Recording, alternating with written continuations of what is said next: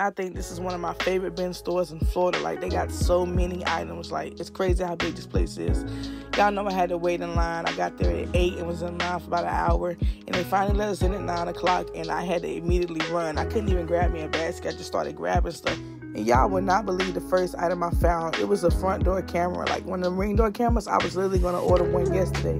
And I found it for twelve dollars. I had so much stuff in my hand at this point. I was like, I need to grab me a bag.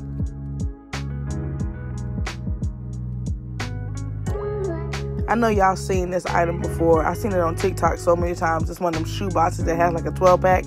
I grabbed that so I can put all my sneakers in. Like I ain't even been in here more than 30 minutes and I already got a bag full of stuff. So I had to sort through what I was gonna get, what I was gonna keep for myself, and what I was gonna sell.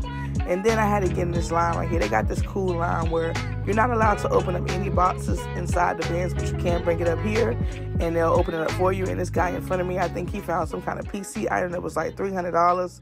So usually when you find something big like that, he has to call over the owner so they can get a picture with you to show people like this is the kind of stuff you can find here. The owner came over, they looked at the price, and the guy was stoked because he was like, "Do you know what you have?" And I was just happy for him because it's always good to see somebody else. I was just hoping I found something good in the box. So my husband ended up finding this like car part that was like two hundred dollars. So that was a good score.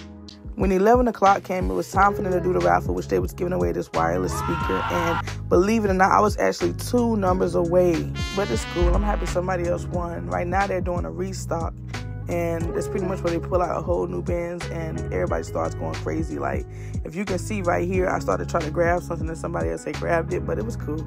I still kept my composure and still tried to find the best items that i could because what's meant for you is meant for you. And i ended up finding this little tool right here for $50 i grabbed some more stuff and it was time for me to head home and get this stuff listed.